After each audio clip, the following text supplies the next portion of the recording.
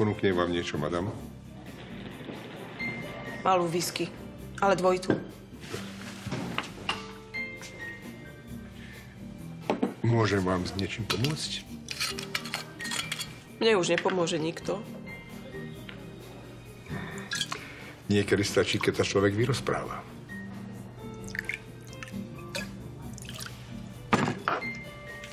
Moja najlepšia kamarátka ma podvádza s jej vlastným manželom. Á, takže vy ste... Pokojne to povedzte.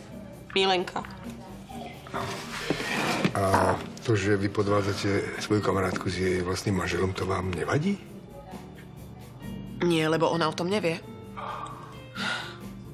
Ako by to mohla urobiť? Pritom veľmi dobre viem, že ona sama má milenca. Taký primitív. Hm? Je to natierač. Tupý ako tágo.